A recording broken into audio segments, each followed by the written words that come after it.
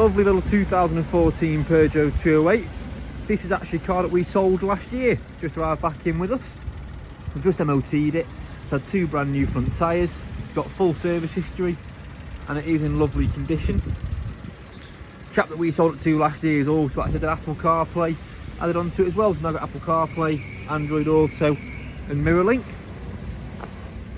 As you can see, bodywork's in lovely condition, which you would expect for low the mileages.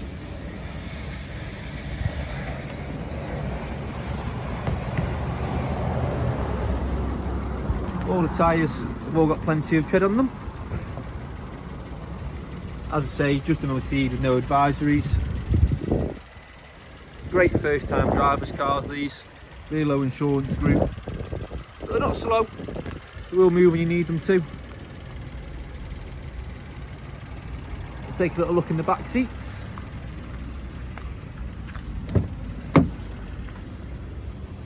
See back seats are in lovely condition, ISOFIX seats, no nasty stains, no rips anywhere, carpet mats as well.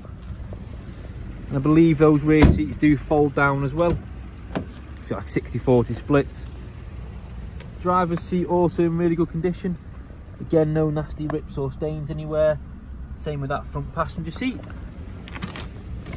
As just mentioned outside, Apple CarPlay, MirrorLink. If we go over onto the radio, uh, so radio and media, we've got DAB radio. I think if we go on source on there, so you've got FM, AM, DAB, USB, Bluetooth and AUX. And obviously with Apple CarPlay, you can mirror sort of your maps onto there and um, Spotify and such like as well. Air conditioning, 12 volt socket, USB and AUX socket. And the mileage is just 36,385 cruise control and speed limiter as well. So lovely, lovely spec and obviously the multi-function steering wheel. Really rare for it to have the Apple CarPlay. You're not going to find many of these with Apple CarPlay and Android Auto. So lovely looking car.